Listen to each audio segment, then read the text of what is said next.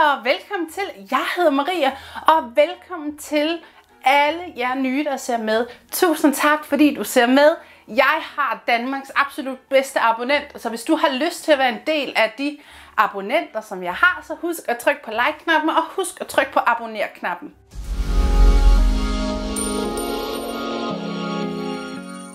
Dagens video er en video, som der er rigtig, rigtig mange af jer, der har efterspurgt. Og det er også en video, jeg har glædet mig rigtig meget til at lave. Fordi jeg elsker det her univers. Og det er selvfølgelig Harry Potter-universet. Jeg synes, det er et af de fedeste universer, der overhovedet er lavet, skrevet om, filmet. Øhm, og jeg elsker bøgerne, og jeg har læst dem utrolig mange gange. Og jeg har set filmene alt for mange gange. Og den slim, vi skal lave i dag, er en butterbeer slim. Så hvis du kan lide videoen, så husk at trykke på like-knappen, og husk at abonnere på kanalen, og lad os så komme i gang med at lave noget butterbeer slim. Det første, du skal bruge for at lave en butterbeer slime, er klar lim, kontaktlinsevæske, natron, gul frugtfarve, og der kan du bruge lige den frugtfarve, du vil, og så skal du bruge noget brun, men det er selvfølgelig helt op til dig. Øh, det er simpelthen fordi, at øh, butterbeer er en lille smule mere mørkt. Hvis du ikke har brun frugtfarve, så kan du også bruge mini, mini, mini, mini lidt af saucekulør. For at kunne lave det der skum op i toppen, så skal vi bruge hvid skolelim, barberskum. Det du også skal bruge, det er sådan et her glas. Det er sådan et glas, jeg har købt i Føtex, og det kostede 10 kroner. Og der er sådan et låg på, vi kan tage af. Og så ligner det sådan et rigtig klassisk beer, øh, butterbeer glas. Vi starter med at lave selve øh, butterbeer slimen. Det skal vi tømme 2,5 bøtter øh, klar lim, og det er den fra øh, Søsterne Grene, jeg bruger her, men du kan bruge lige den klare lim, du har.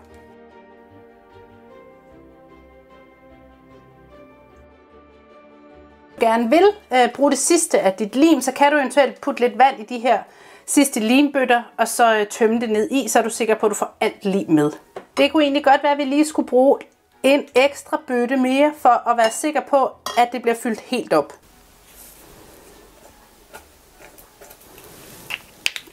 Så det er altså her at prøve sig frem, for at man er sikker på, at man får den rigtige farve. Så tager vi lidt af den brune, og I kan bruge lidt sovsekulør i stedet for. Det ligner nærmest en honning. Så hvis I ikke har til at kunne lave sådan en butterbeer, så kan I for eksempel stoppe nu, og så har I faktisk lavet en rigtig fin honningslim. Så starter I med en, og så rører rundt. Så tager vi din en lille smule mere. Tager I simpelthen lidt kontaktlinsevæske på fingrene, og ja, husk at vaske jeres hænder bagefter, nu har den faktisk lige præcis den konsistens, jeg gerne vil have, fordi den skal faktisk også blandes med en anden slim.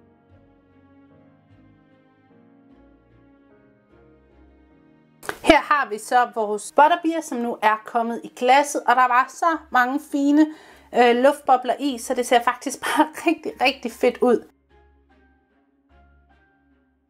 Og hvis du er lidt i tvivl om denne her lim, om den er god, så tjek videoen ud, som jeg linker til oppe i hjørnet.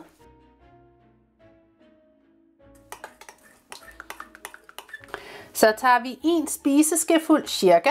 Men igen, prøv jer frem. I ved selv, hvordan I bedst kan lide jeres slim. Den er næsten ved at have en rigtig god konsistens. Husk at vaske jeres hænder bagefter.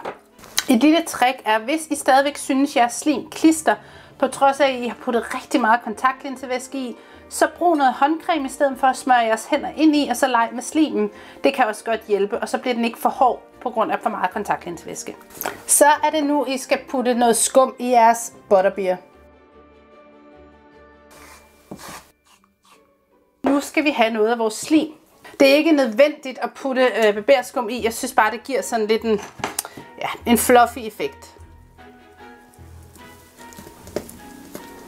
I kan også putte det ovenpå og printe nogle udprint ud fra internettet. Og der vil være rigtig mange links nede i beskrivelsesboksen, hvor du kan printe de her ud gratis. Har vi den så både med skum og med mærke på. Og mærket er en lille smule utydeligt, fordi at min printer tydeligvis ikke har det for godt.